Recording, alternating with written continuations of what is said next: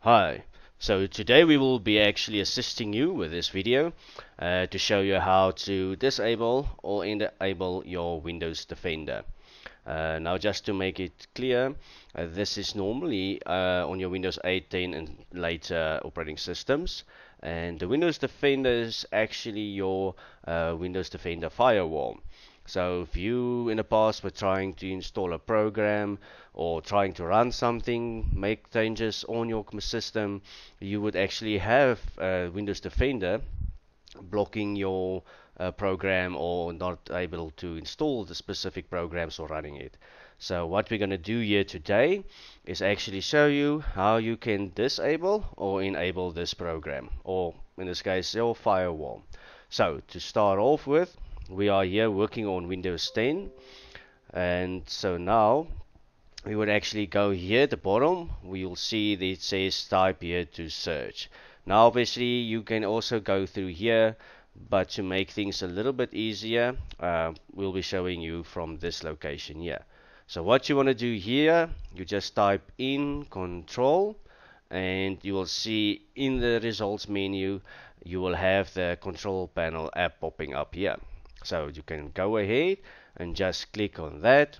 This will actually open your window 4 control panel and here you'll see all your various options, mouse, sound, internet options, keyboard and so forth. Now what we're actually looking for here, you'll see at the bottom, it will say Windows Defender Firewall. Now just go ahead, click on that. This will then open your Windows Defender Firewall menu and then you will see on the left side you have different options allow an app or feature through Windows Defender firewall. Now if you know which program you're actually having problems with you can actually go in here and then just go and select it and say private public uh, details and so forth. Now if we go back we get change notification settings. That's just to change the settings that will actually tell you uh, if something is actually being blocked by the firewall when you should actually see a pop-up like you've seen earlier. If we go back here, we will then get here to turn Windows Defender Firewall on or off. Now, you can go click there. Here you'll see private network settings, public network settings. So all you have to then go and do, you go click on turn off the Defender Firewall on both of these and select OK. Now you'll get a pop-up like I've talked to you before as telling you your Windows Firewall is now actually off. So you can just go ahead, show that away. And obviously you can also here go and click on restore defaults and we have advanced settings which we will not be covering in this specific video. Now here you will see uh, private networks, everything here being light and red. It will show you the red cross as well. And here you will then see Windows Defender firewall state is now on off. So now your Windows Defender will not be working anymore. So anything you'll be doing network wise on your machine the firewall now actually not be causing you any further problems. Now obviously once you've done what you needed to do you would need to actually go back and switch it back on so again, we will click here on type here to search and we will then type in control panel. Now there's your app once more. And just for these oaks that would like to know, you will see that your recent programs is actually also here. So you can just select there as well and it'll also open your control panel. Then once again, go into your Windows Defender firewall and we will be locating down to turn Windows Defender firewall on or off. Click on this one, then select your turn on and turn on there as well. Click OK and then your Windows Defender will be activated again. Now as I said before, just to explain this and show this to you as well, should you actually go in here and you have your defender on off you just close or pop up again. And if you then go to restore defaults you click on restore details again. Restore defaults, delete all settings. So obviously if you have made any firewall changes rules then obviously you would not want to do it this way but if it was a standard installation and all you have done was to disable your Windows Defender you can actually use this option so then we click on yes and there you will now see your Defender is back active again so that will be the basic way to switch on your Defender or switch it off. Now just to go through a few other things. If you click on this arrow, you will locate it at the bottom right as you can see here next to your network screen. You will see that the Windows Security Defender icon as well.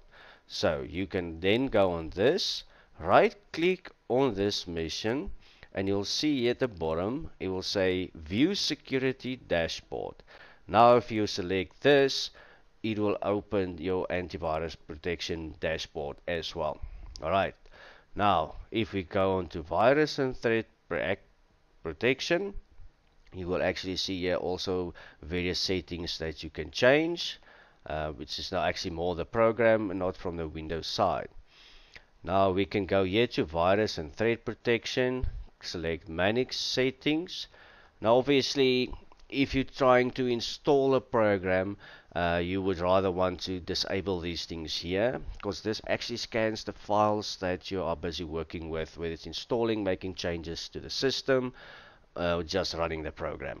So then you would actually have to go here switch it off and you will select yes. That's obviously not necessarily unless you're obviously running from the internet installing something uh, automatic sample submission we will not be actually worried about. And you can if you want to switch that off just to be on the safe side or if you have any further problems when running or installing a program. Now let's just go one back.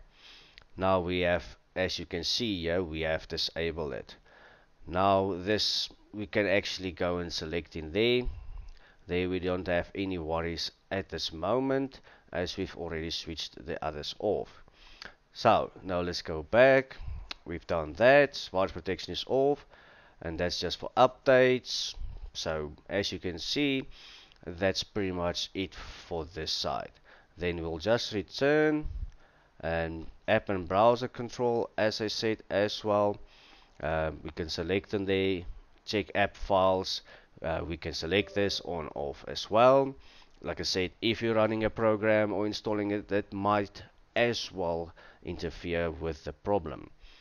Now we go down we just select through it quickly nothing else there. Now account is fine file network like I said that's a different part. So we will actually be looking at that because it doesn't actually help if you do this and not this one. So then here you can also go and go onto the main network public network and private network. So all we have to do now is we actually just need to switch it off as well. Now as I said before you can go through the control panel as I showed before or you can actually do it here as well. Here you'll also see the restore firewalls to default as I've actually shown you before. So now let's go and do this one quickly here switch this one off. Yes. And you'll see the pop-up menu again. We'll go back go to the next one which is a private network. We switch this one as well off. Go back and then scroll down to the public network. Select that one as off as well and select yes. Now we have basically switched off the firewall and the antivirus from Windows Defender for anything that you would want to do on your machine. And then we can go ahead and close that. Now once again, you can either go through the control panel and then go to Windows Defender Firewall and just select Restore Defaults. Or as I showed you before, we'll do it for this exercise you can go to this option here select view security dashboard which will open your defender and yeah it'll make it very easy. It'll actually do anything for you. You don't have to go inside and then actually go to every single option to enable which you can obviously do if you don't want to switch on everything. But for this instance you will just click turn on and we'll select yes. We'll select this one click on turn on and yes let's just click on that again. You see the arrow will go then to the green check mark and this is what we want. Then we go select turn on and then we just browse through there make sure everything is 100% no problems there. You can see it's still actually still busy doing the applications and applying. Right so if you're happy everything is green you can go ahead and close I would though still recommend going to control panel Windows Defender firewall and just double checking. And that is it for this video. So if you need to disable your Windows Defender remember that if you go into the control panel and the Windows Defender firewall you will only be switching off your Windows Defender firewall. So you would still have to go in here select the security dashboard which you can obviously either just click on it or right click and select it and then manually go in here and go down to whichever settings you need to disable. Like for instance this one would be your virus and threat protection there will say real-time protection which is obviously like I said when you're opening files installing programs it scans those files as you're opening or installing them and then we go back. Account protection it's not really needed but again you can go and switch it off if you're having problems. And then firewall you will see they will be disabled already if you have done it via the control panel. And then again if you need to do something from the internet then or a program you should actually go in here and then just switch it off as well. As you see currently here it is set to actually one if you would like it to block apps then you can actually just select block on these different options. Alright so that is it for this video and happy computing